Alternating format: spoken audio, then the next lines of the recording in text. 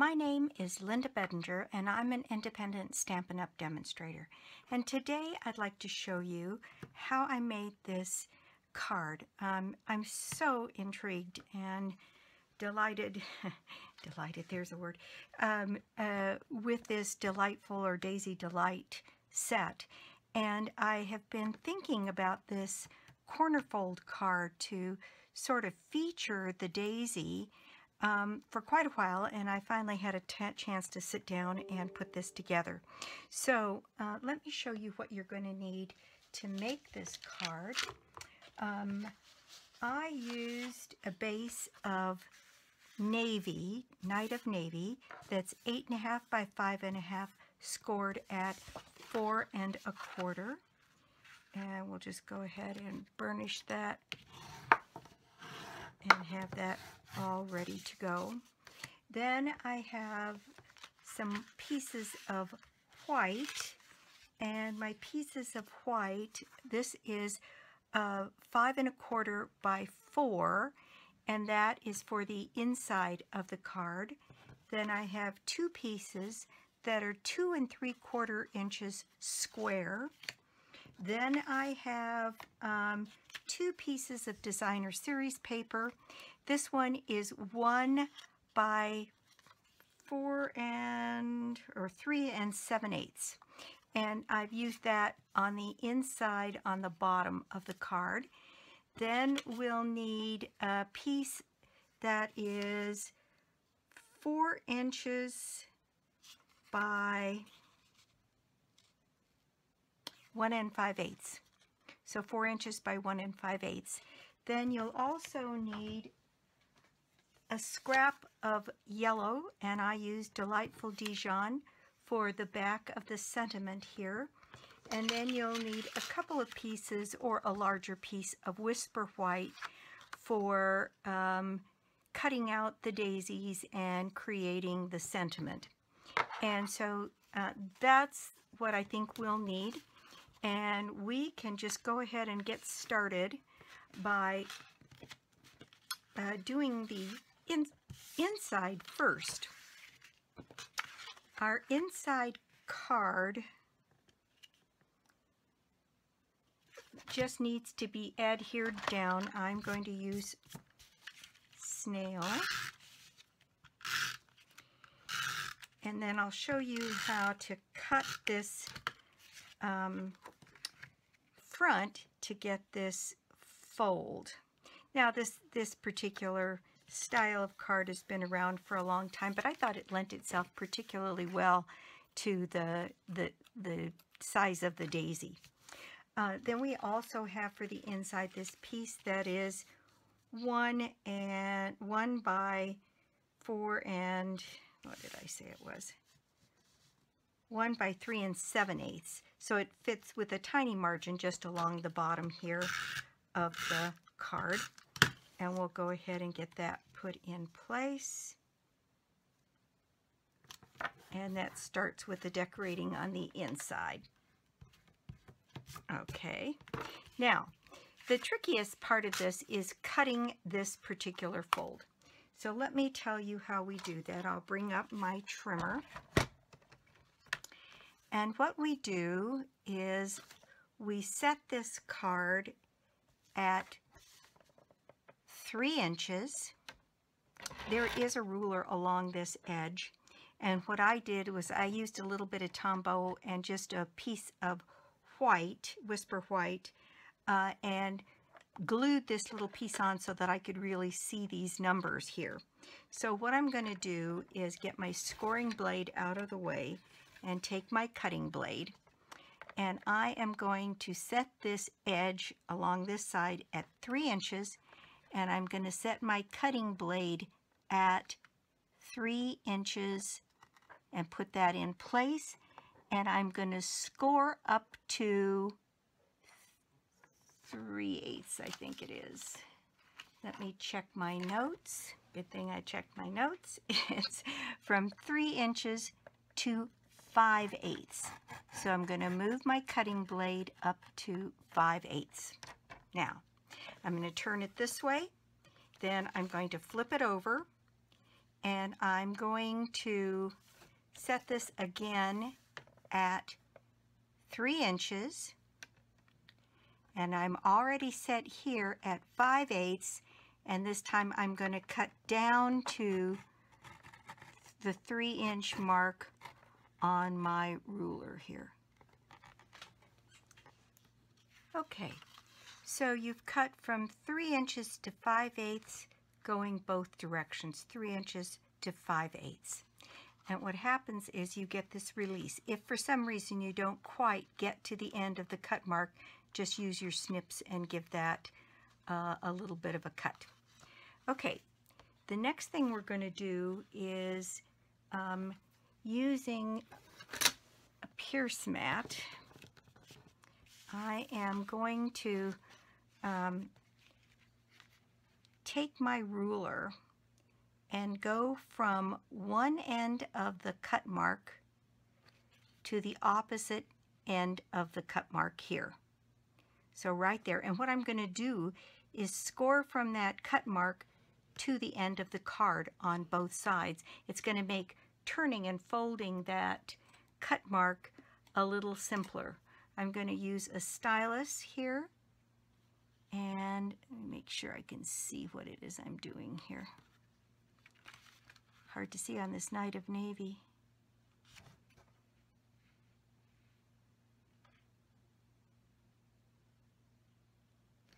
Okay, I'm going to go ahead and score that to the end and score here to the cut mark. So hopefully you can see where I have put a score mark here I'll kind of turn it in the light and hopefully you'll be able to see the score marks on either side. Okay. And what that's going to allow us to do then is to fold this piece this way.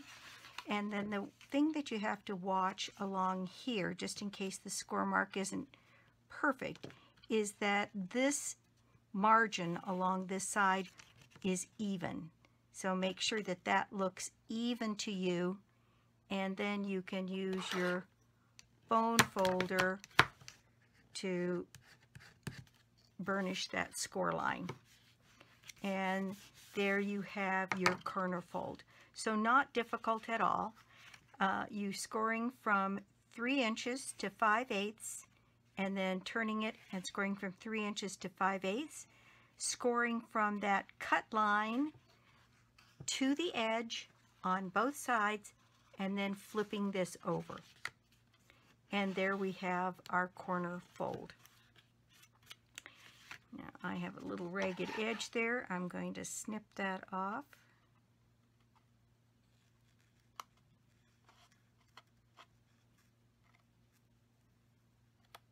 There. Okay, so now what we have is these two pieces here. So I think we'll move on to doing our stamping next. Let me move a few things out of the way here. And um, let's see, on this one, what I did was, some people leave this part open, but I didn't like the way it looked. So I am using, uh, I guess I need to tell you what stamp set I'm using today.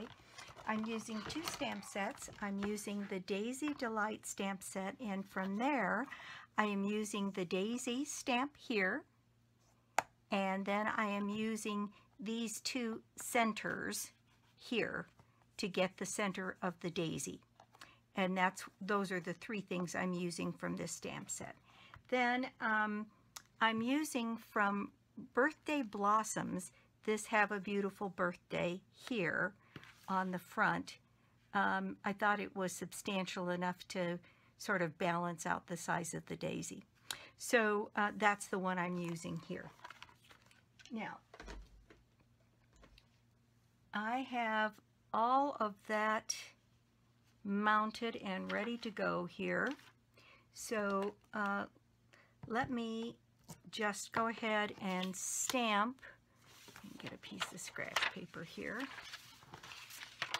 um, we'll stamp the daisy on the inside of this and I'm using Night of Navy cardstock, I mean ink here. So Night of Navy ink and my daisy here. And for this one, I'm just going to center this daisy on my piece of card here.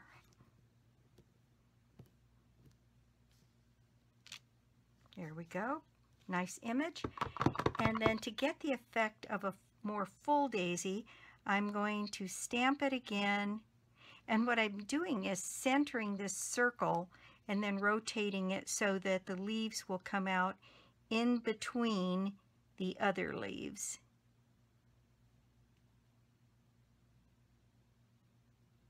And I think that looks right. There we go. So it looks like a much fuller daisy now. Okay, the next thing we're going to need to do is stamp a couple of daisies to punch out. And I'm going to reposition this stamp on here. The way the stamp cuts out, or the punch, pardon me, cuts out, it it has one of the petals straight up and down. So if that's the way you have it mounted on your block, then you'll be set up to punch out from the uh, daisy punch quite easily. So I need two of these. There's one. And there is a second one.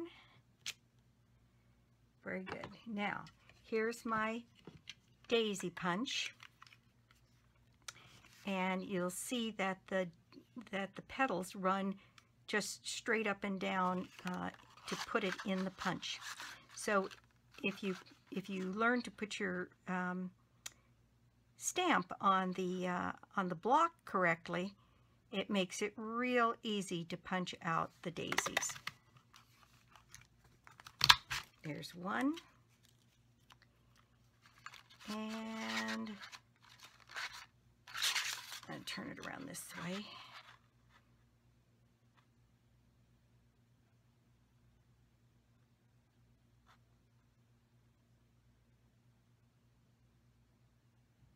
And there is a second one.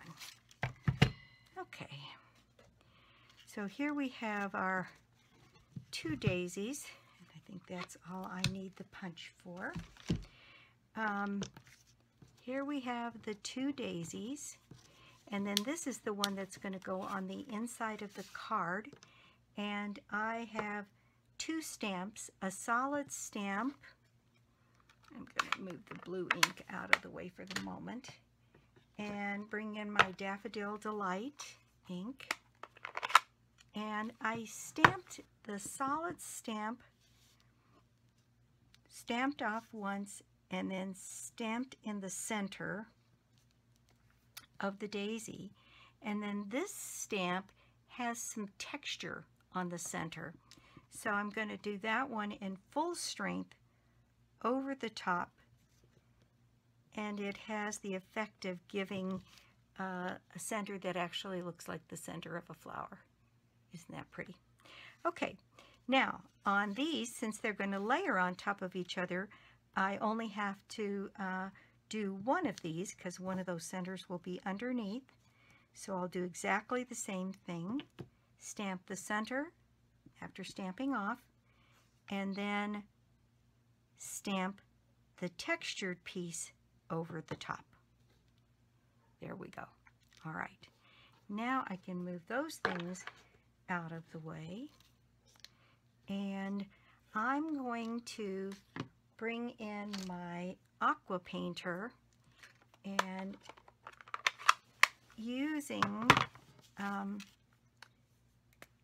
oops, ink that's on the back of the case here, I am going to just color in these little daisies from the center out and just wispy little marks here just to add a little depth to the petals. And if you look at the paper, this, this designer series paper, the daisies do have color near the center and they're lighter on the end, so I thought it would be good to match that. So ever so slightly on a nearly dry aqua painter brush here just to get a hint of color coming from the center of the daisy out. Okay, and since this one, this is going to be our top one, I will do both of these. And again, my aqua painter is nearly dry. I don't want a lot of color, just a little bit drawn out on the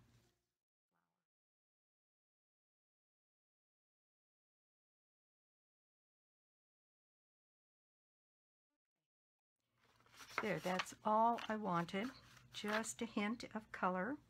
So I'll set the aqua painter aside and I have a little paper towel here. I want to blot any excess moisture here from any of this. It looks like it's probably dry, but I just wanted to make sure. Okay, so um, I'll put these away for the moment. I'll need the blue again after a bit. So now we can uh, go ahead and add this to the inside of our card and put these two together. And what I did was um, I, um, I curled the ends of this one up a little bit, just all the way around to give the daisy a little dimension here. And I curled it up first. Then I went back and curled the tail ends down. So it has kind of a bowing effect on the daisy petals.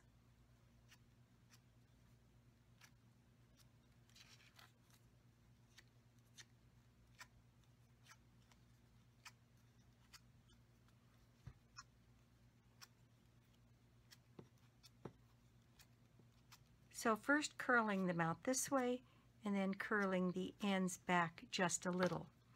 Then I took my Pierce mat and I used my piercer back to push this part down.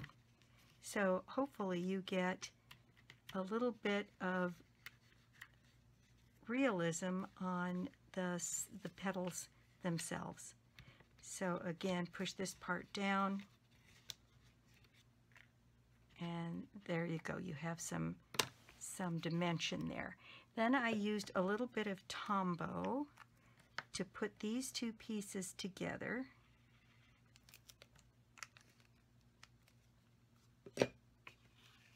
And again, centering one set of leaves in between the others. The good thing about using Tombow for that is that you get to kind of wiggle it around until you get it right where you want it. Now set that here and let that dry just a bit. So we are ready to start putting some of our card pieces uh, on the outside of the card together. First we can take this piece and some people, like I said, were leaving this, I mean, they secure this down, but then they were leaving this looking like that, and that didn't appeal to me. It looks too raw and unfinished. And um, I see a little rough edge here I need to take care of because it's going to show. I think it's time to change my trimmer blade. Okay, so this piece I just put with a little margin right here and it hides all of that ugly little fold.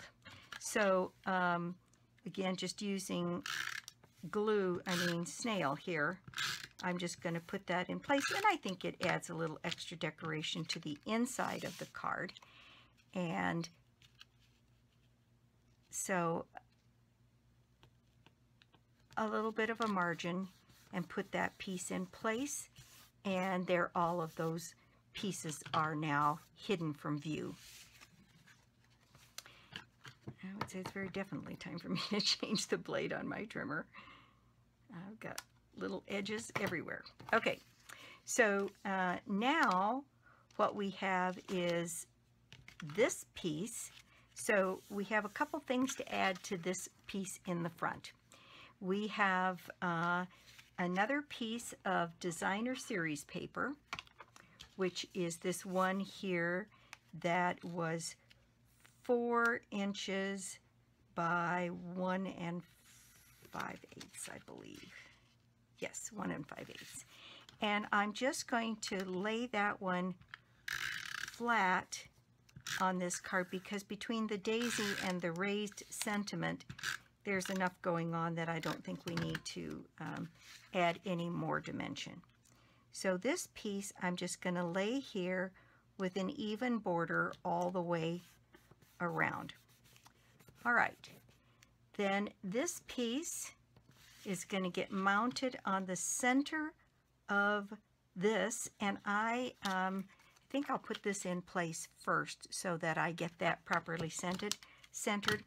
The other thing I'm going to do is um, put some glue dots underneath here to hold that piece down. And I just used up my last glue dot on one roll, so I'm going to quickly grab another roll here. And um, I don't even have ribbon tied on this one yet. Um, I'm going to take some glue dots and I'm going to put one on this side. I am going to put one at, well, on this side. And then I'm going to put one right down here on the corner and that way I make sure that this flap isn't going to move. So that's now nice and secure. Now we'll add this piece next and I'm going to do that with snail. Grab my, my silicone mat here. So I want to get my snail right close to the edges here. And I want to um, get this put down with roughly the same margin all the way around this square. There we go. Now this should be nice and dry and we can mount our daisy right, excuse me, right into the center of this uh, square and I'm going to use Tombow for that. A little bit of Tombow on the back of my daisy. And I'm going to center that here on my square. And give that a second to dry. Now, uh, the scraps that we have left over are the yellow scrap and another white scrap. And we're going to put the birthday um, sentiment on the white here.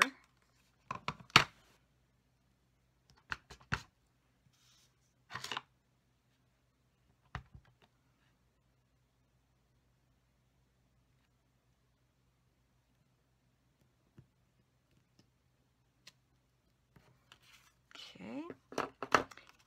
And then we're going to use, I used the items from Layering Ovals, and I used, um, if you count from the smallest to the largest, one, two, three, I used the third plain oval, and doing the same on here, one, two, three, I used the third in the scalloped oval here. And I used the scalloped oval on the yellow. And this Have a Beautiful Birthday just fits without much of a margin at all on this die cut here. And to save a little bit of time, I've already run mine. So there's my happy birthday cut out, and you'll see it literally barely, in fact, this little point of the banner got taken off, but the rest of the sentiment just fits on there. And then the yellow piece, and I, I could have backed it in blue, but I thought it, it just looked so much cheerier to do it in the yellow and add a little bit more color. So I'm going to add a little bit of snail to the back of my sentiment here and center that on my scallop piece.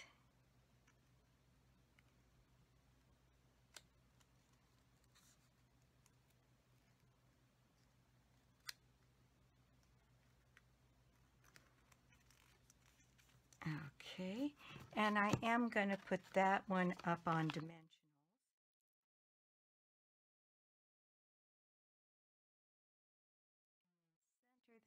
Right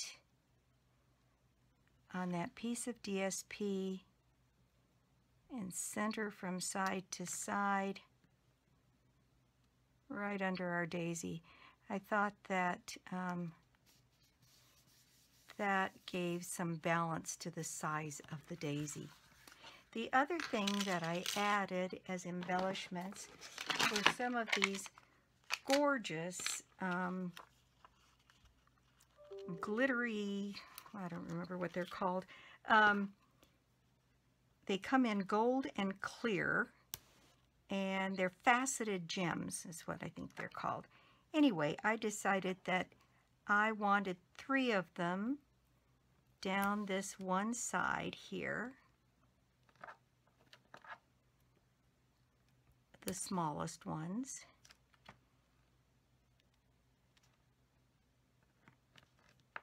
There we go. Just because this side looked so plain after all of the others, all of the other decorations.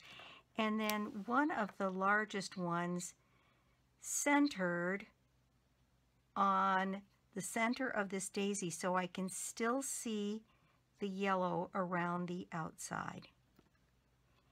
And there we go. That is the project for today. And I'm really pleased with it. Um, I think it has a, lot of contrast.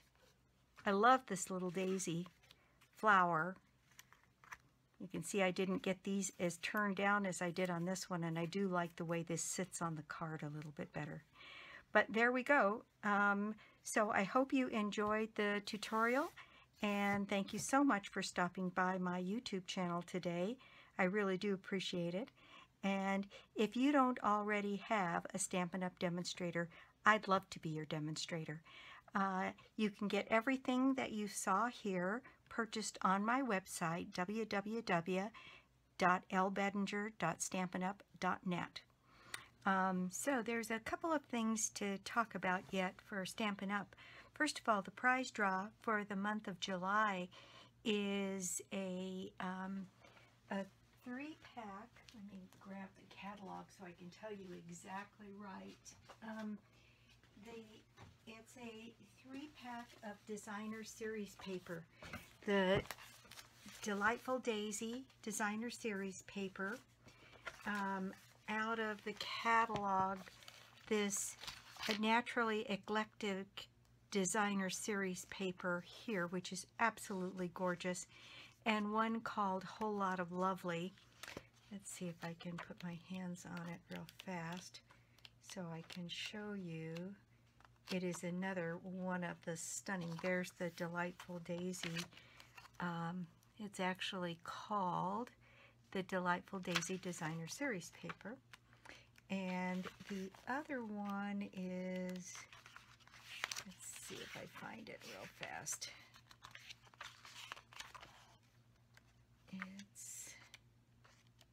There are three of my favorites. Um,